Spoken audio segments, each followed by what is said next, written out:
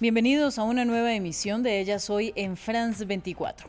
Las mujeres dentro y fuera de España han mostrado su indignación tras la decisión de un tribunal de Navarra de poner en libertad bajo fianza de 6 mil euros a la manada, los cinco condenados por abusar sexualmente de una joven durante los Sanfermines de 2016. Aunque la sociedad española exigía identificar el caso como una violación, el pasado 26 de abril los jueces dictaminaron que a falta de resistencia de la víctima, el suceso no se podía imputar como una violación y por eso se emitió una condena por abuso y no por agresión sexual. Vamos a discutir la decisión polémica de liberar en dos años y bajo fianza a los criminales de la llamada manada. Y para eso nos acompaña desde Madrid, España, Isabel Mastrodoménico. Ella es activista feminista, integrante del Comité de Mujeres Líderes de las Américas de la OEA y también colaboradora de He for She en ONU Mujeres España. Isabel, antes de iniciar nuestra charla, vamos a ver un resumen de los últimos acontecimientos en este caso. Entre la sorpresa y la indignación, así se encuentran los españoles, especialmente las mujeres, cuando salió a la luz la decisión de la audiencia de Navarra de dejar en libertad condicional a la manada. Un grupo de cinco hombres condenados a nueve años de cárcel por abusar sexualmente de una joven durante las fiestas de San Fermín en 2016. Un crimen que por su naturaleza ha dejado consternada a España. Lucharé por mis hijos, por mis nietas y por todo, pero esto no se puede permitir en ningún país. Lo siento, no tengo palabras más porque estoy muy enojada, estoy enojada y enfadada con toda esta justicia. Esto no es justicia. ¿Qué, ¿Dónde está la justicia? La ley fija en dos años el plazo máximo de la permanencia en prisión preventiva para los acusados sin sentencia firme. La prisión preventiva se podía prorrogar, algo que pidió la Fiscalía. Sin embargo, el Tribunal Español aprobó la libertad condicional.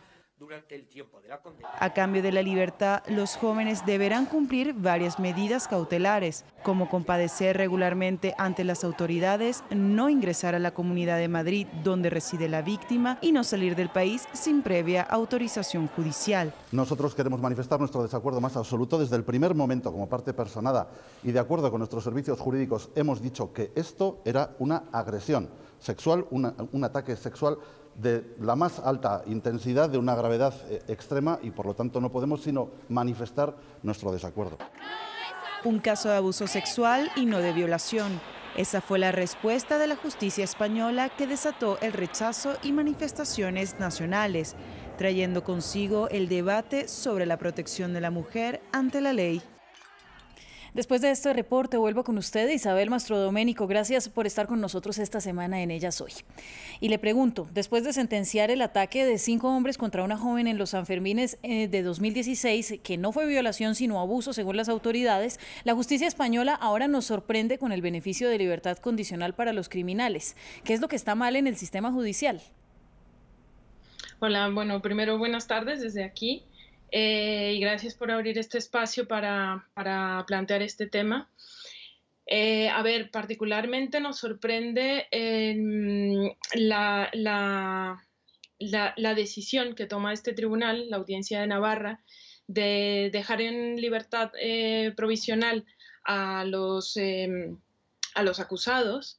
se refieren a tres temas puntualmente. Uno, Em, ellos creen que por la exposición mediática que han tenido no van a, o sea, no hay riesgo de incidencia en el, en el delito. Lo segundo es que creen que no hay riesgo de fuga porque acuden a, la incapacidad económica de estos para poder darse a la fuga de una manera em, contundente. Y tercero, porque, bueno, dentro de la forma en la que está eh, contemplada la, justicia y los em, parámetros del Código Penal, pues lo que dictamina es que después de dos años se revise eh, la prisión eh, provisional y en este caso solamente uno de los magistrados de los tres que han tomado la decisión se oponía a ello, con lo cual los otros votos, los otros dos votos, pues daban, daban este dictamen. ¿no? Nos sorprende porque al final, si ya la sentencia de solamente nueve años de cárcel para un delito de violación, eh, pues eh, nueve años nos parece insuficiente para todo lo que está sucediendo eh, con este caso y todos los casos que están apareciendo también eh, simultáneos a este, e incluso en el caso de estos mismos señores que tienen abierto otro proceso por agresiones sexuales a otra chica en un municipio en Córdoba, pues nos deja una situación muy difícil como mujeres, ¿no? De una mm, en una situación de desprotección total ante la justicia. No hay palabras para eso, Isabel, pero además en redes sociales se promueve el hashtag Nosotras somos la manada. ¿Cómo podemos mejorar la justicia para nuestras iguales eh, desde las actividades cotidianas? A ver, eh, Está claro que lo que necesitamos es un cambio en el Código Penal, en la formulación de los delitos de los cuales estamos hablando, que exista este tipo de diferenciación entre abuso, agresión sexual y violación. En el caso puntual de la manada, lo que se determinó es que no había sido una violación como tal porque no hubo violencia explícita. Eh, en el general de la sentencia y en el voto particular de este magistrado que se opuso a que se les dictaminara como culpables, que decía que ahí no hubo violación y que simplemente hubo un sexo de grupo, no sé qué estaba esperando este señor que sucediera con una chica que estaba siendo penetrada eh, anal, vaginalmente, bucalmente por cinco señores en repetidas ocasiones, em, pero al final pues nos deja en una situación muy difícil, con lo cual el cambio es necesario en cuanto a los conceptos que mm, están en el Código Penal, pero en la cotidianidad, ¿qué podemos hacer? Necesitamos trabajar una educación sexual que sea em, acorde con el principio de igualdad. Desafortunadamente, y este es un problema global, la sexualidad de nuestros jóvenes se está construyendo a través del porno. Em, los portales, de, los principales portales de, este material eh, alertaron que eh, frente a, esta situación que se estaba viendo desde hace meses, em, las mayores, las principales búsquedas durante los primeros días eh, eran la violación de la manada, con lo cual lo que nos estamos encontrando es que hay una, hay una falta de comprensión con respecto a lo que es la sexualidad y dentro de los espacios educativos, dentro de las, de las familias, en los espacios comunitarios, tenemos que trabajar el concepto de sexualidad, de una sexualidad consensuada, no consentida, porque lo consentido tiene otra connotación, respetar al otro, respetar a la otra, entender que solo sí es sí, que cuando decimos no es no y que no estamos buscando que se nos presione ni que se nos, em, ni que se nos eh, coarte nuestra libertad y nuestra tranquilidad. Isabel, ¿castigos ejemplares ayudarían a que se cometieran menos delitos de violación en el mundo? ¿Es eso suficiente o además necesitamos más de aquello que usted menciona, educación y cambios desde la sociedad?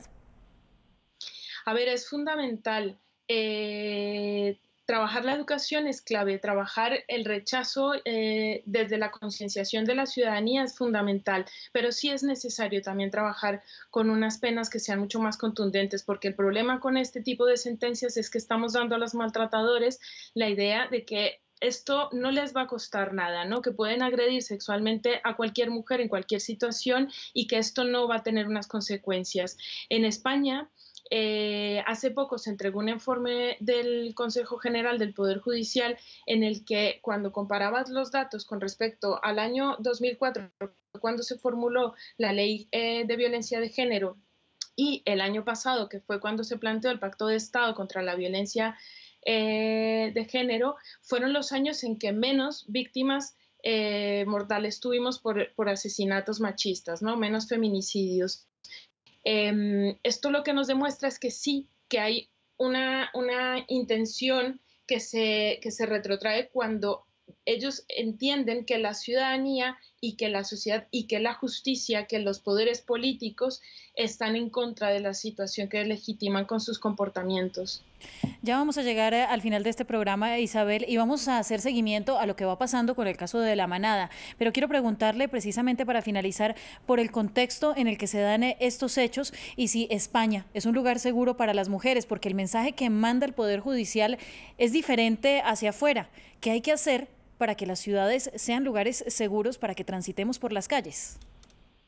A ver, lo primero que necesitamos es eh, políticas públicas y de protección para la ciudadanía en general. Y obviamente la situación de vulnerabilidad en la que nos encontramos las mujeres por, una, por un sistema que nos sigue manejando en, en una situación de desigualdad, que se nos sigue entendiendo como, como subordinadas, pues nos pone en riesgo. Eh, necesitamos políticas públicas de seguridad, necesitamos educación en igualdad para ir erradicando esos comportamientos, necesitamos leyes ejemplares que pongan, eh, que pongan el freno a estas situaciones y que digan a quienes son violentos, a quienes son agresores, que no estamos dispuestas a consentirlo y que no vamos a seguir viviéndolo así y que el Estado y que la justicia nos protege. Eso es fundamental. Gracias a usted, Isabel, por acompañarnos en ellas hoy. Y la tarea que nos queda entonces es seguir visibilizando estas situaciones y esforzarnos porque el contexto desde la sociedad cambie. Ustedes quédense con nosotros. Seguimos en France 24 y nos vemos próximamente en ellas hoy.